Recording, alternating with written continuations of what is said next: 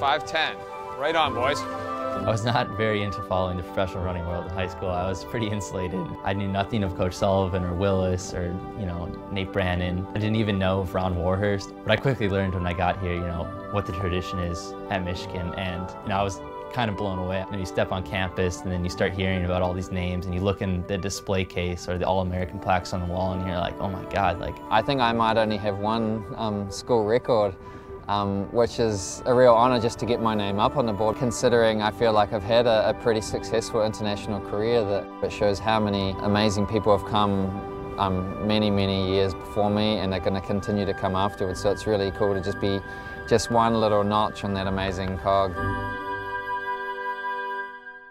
Hey, we got donuts and coffee. Here we go. Have a sip. of, You got your coffee. You can take a break. No, no, you have one right now. Go ahead. Here, don't don't don't run away without get. You got to get one.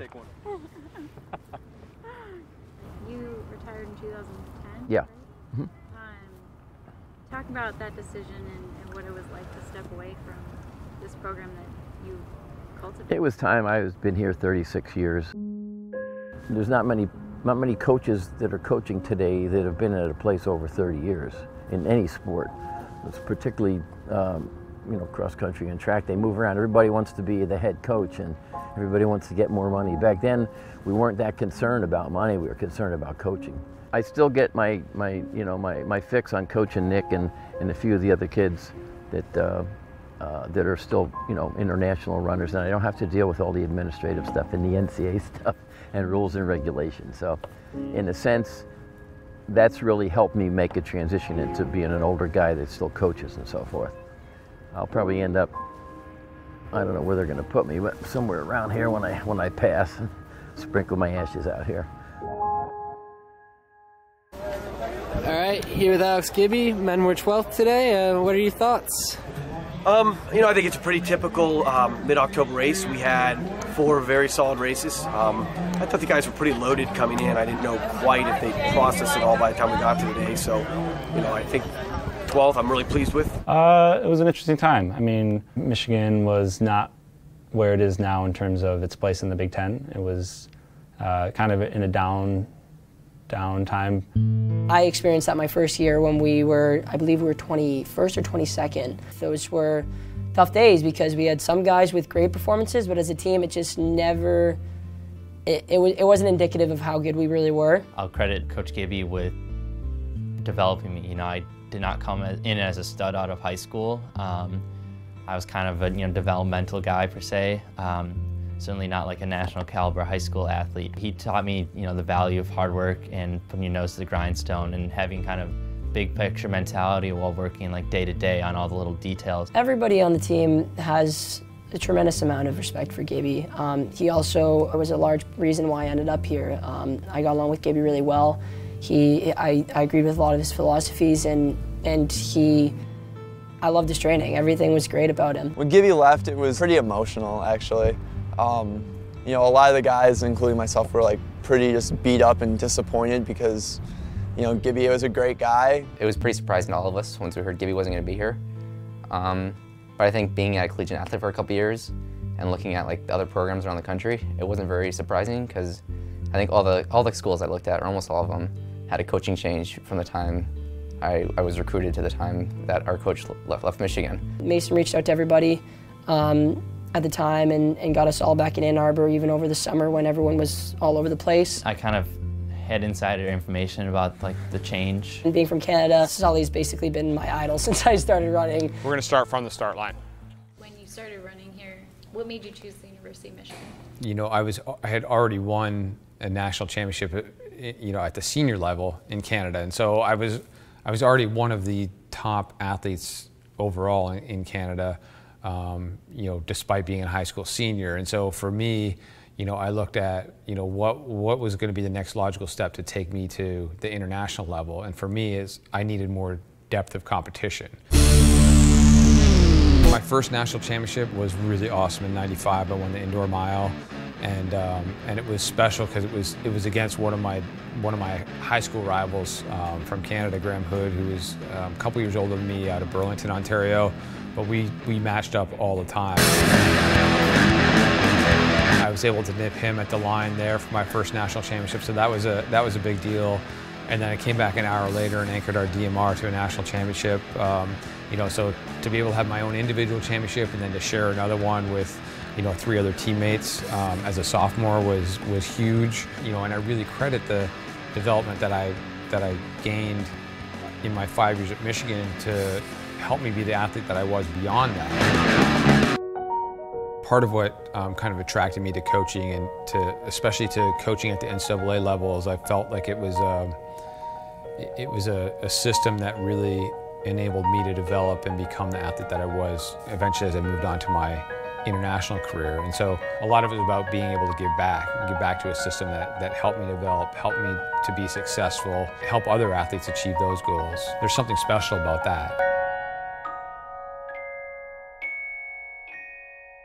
Personally, I didn't know Sully before then. I knew he had, um, I mean, obviously knew how good he was and stuff, but I didn't know him on any personal level. I'd never met him. Um, our Canadian Ben Flanagan was super pumped though. I remember meeting him for the first time and just like didn't even know what to say because like I said, I, I looked up to the guy my whole, uh, my whole career. So it was, it was pretty cool to actually meet Kevin Sullivan. You know, it's easy to kind of get a little starstruck by him because of what his credentials are, but he's just a normal guy. You know, he went through everything we're going through now. And the first practice ever was at camp. We did a 10 miler uh, when we got to camp. And I was running with the guys because um, I had gone up to camp to scout it out beforehand, so I kind of knew where some of the trails and roads and everything were. So we went out five miles and we turned around and, and, and I had to jump in the woods for a bathroom break. And I came out and they were a lot farther ahead than I anticipated they were going to be. Didn't think anything of it until a couple days later, our trainer had come to me and said, "Oh yeah, when you jumped in the woods, those guys picked the pace up." tried to try to drop him. Yeah, I remember that. I'm sure they thought, "Oh yeah, he's you know 40 years old. He's not supposed to be hanging around with us." So let's see what he's got. So he just hauled for the last like four miles and knocked us all down. Caught up behind them and just kind of tried to make it seem like I wasn't breathing very hard. Saying like, hey, I guess I still got a little bit, which is really funny. They were completely amazed that I that I caught them. So they're they're talking about it for the next couple days. Like, I can't believe Coach caught us. Uh, we thought we had him drop for sure. So that was my first practice with those guys. A nice way to kind of get ourselves connected together, I think. A Couple things before we uh, before we go out. So. Uh, I know guys are asking me about entries for Louisville this weekend, so they've got um, all entries are up now. Eight teams total that are either ranked in the top 30 or they're getting votes. So there's uh, Eastern Michigan at 36, Iona's number 8, Eastern Kentucky's number 28, Louisville's number 37, Penn State's number 38, Mississippi at 13, us at number 10, Wisconsin at number 4. Um, there's 28 teams total. There's Illinois there as well, so we got another Big Ten team in there as well. Uh, Grand Valley be there, so we got another in-state team.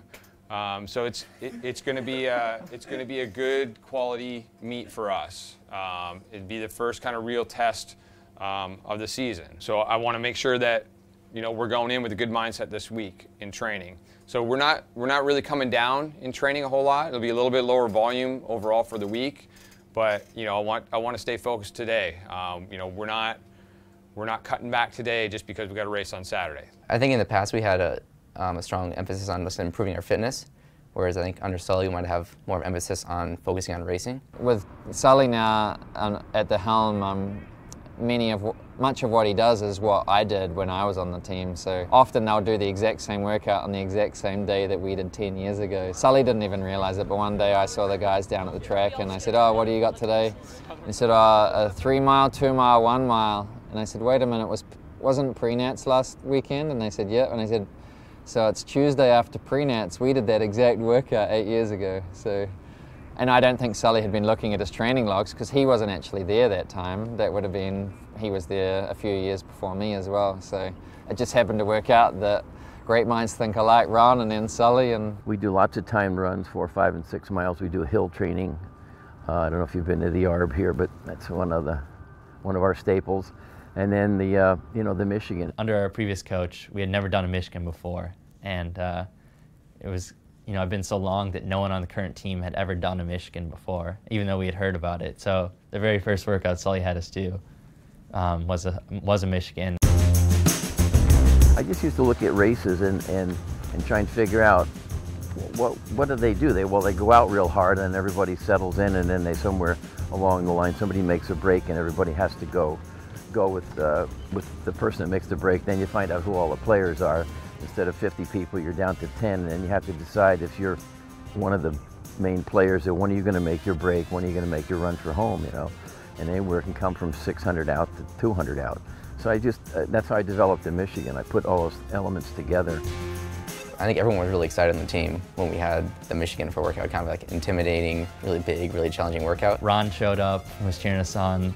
Willis was uh, running back and forth on the like the home stretch, just cheering guys on. So it was like starting the new era, you know, with that workout was kind of like the transition into like what the program's going to be in the future. Let's go, David, all the way All right, in. David. Nice work, Renberg. Through the line, Way to bud, through the line, in through the line, group, through the line. Nice. His style's awesome because he always uh, he likes mixing things up a lot.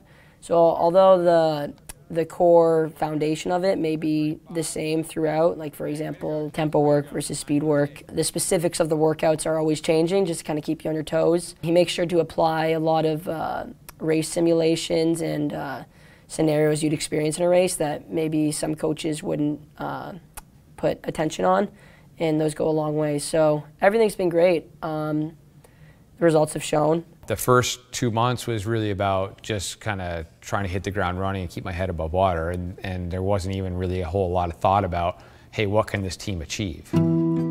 It wasn't until we finally got to camp that I was really kind of able to sit down and, and evaluate the team and be like, and, and really think about, you know, what's going to be a successful season for us. And I'm looking at the, the roster. We had lost Mark Beams and, and uh, Morsi Rayyan, who were low 29 10K guys who had exhausted their eligibility in cross country. We lose those guys off a team that was you know, in the in the low 20s. A good finish might be making nationals or, you know, finishing it around the same spot. My guys had a had an athletes only meeting while we were at camp and, and came to me afterwards and said, "Hey, coach, we you know, our goal is to be our goal is to be top 15." You step into a situation and you're not sure, you know, how guys really go about goal setting. Do they set goals that are easily attainable or do they set goals that, you know, that they know are possibly not going to happen? You know, in previous years we had, I guess you could say, bombed at NCAA's.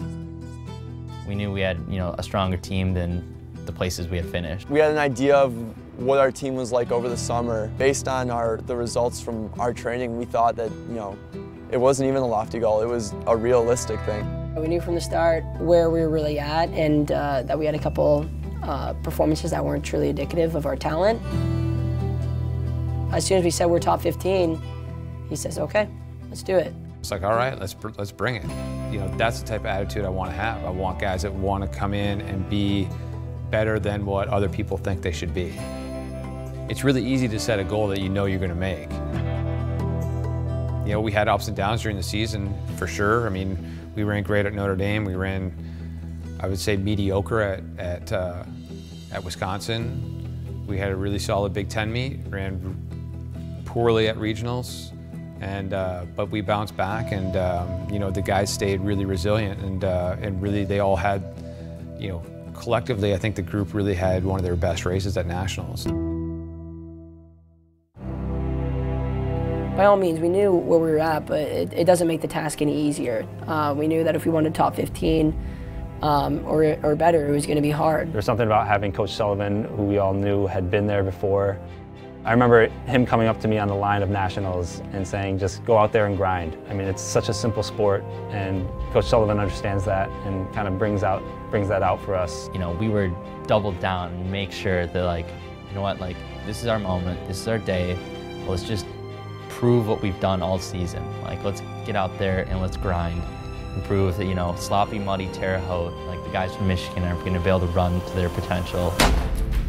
And we're off here in the NCAA Division One Cross Country National Championships. When the gun goes off, there's no more coaching that you can that you can really do. I mean, it's really in their hands at that point. I was really hoping for a top 10 finish. I had grown stronger and you know faster and more competent. I was gonna run with anyone. Like I didn't really feel like there was many people that you know could run away from me.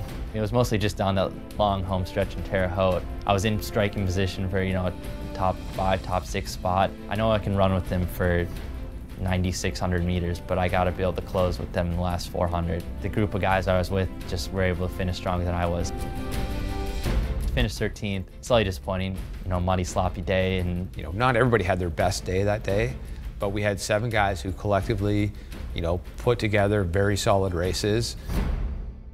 And um, we had our best performance at Nationals in 10 years. in a sense, it was almost a little bit of sense of relief. Like, oh, phew, you know, like everything, everything turned out, everything turned out, well, great. You know, to come away with, you know, 11th place finish was, you know, the that was the best I've ever seen at Michigan, and that was a huge step forward for the program. Like, that's finally putting us in at least near the realm of where we want to be. We uh, had our minds set on, on a top 15 spot from day one, and uh, yeah, it, it happened. I wouldn't use the term surprise uh, because, like I said, we, we knew it was there. It was just a matter of showing it on the day. Maybe an affirmation that Sully was taking us in the right direction too, that he knew how to you know, conduct workouts we arrived at the postseason ready to go and ready to fire on all cylinders. That bus ride back was filled with a lot more excitement for the years ahead than you know, had been previous years where we're kind of trying to look for an answer. Now we're looking for like what's next. Excited to finally kind of see everything coming together. Like good time to be a Wolverine. One, two, three. Go! Drive down to Louisville, Kentucky. About a five-hour drive here from Ann Arbor. Tom Sawyer, cross country course. Feeling good. We've had a good week of training. Team meeting tomorrow night. Really talk about what we're gonna do tomorrow. Wisconsin, they going down. Badger hunting season.